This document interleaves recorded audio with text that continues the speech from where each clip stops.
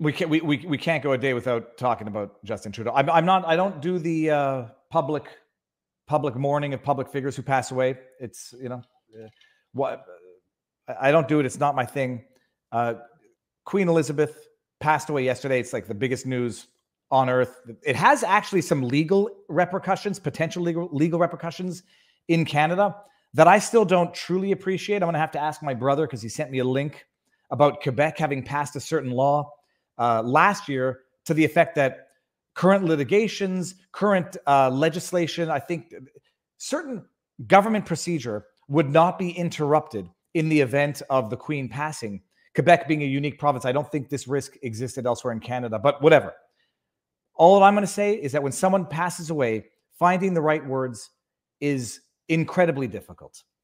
Uh, incredibly difficult. It requires uh, humanity. Finding the wrong words on, on, the, on the other hand, incredibly easy, especially depending on who you are. This is Glen McGregor reporting on Justin Trudeau's response, reaction, reflections of the Queen passing. And he says, PMJT, Prime Minister Justin Trudeau, speaking now about death of Queen Elizabeth II.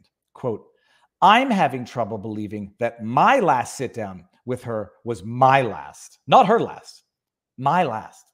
I will miss, I will so miss those chats I'm having trouble believing that my last sit down with her was my last.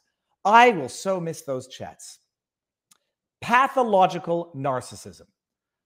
Uh, are, you know, the Queen has died.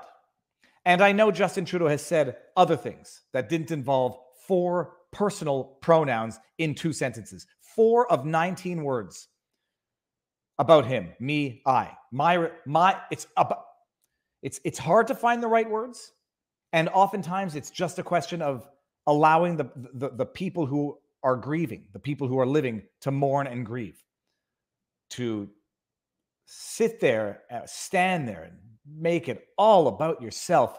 I mean, it's telling. Someone in response to that tweet said, There's a lot of reasons to hate Justin Trudeau. This is not one of them. Wrong. This is one of them because this is indicative of a narcissist who sees the death of the queen as an opportunity to talk about how important he is.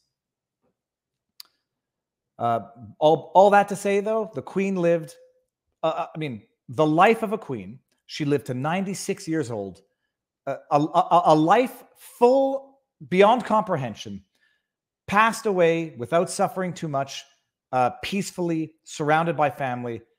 Can't really ask for much more than that. When my father in law passed away peacefully, he was too young, and that's it. 62, I think he was 62 years old.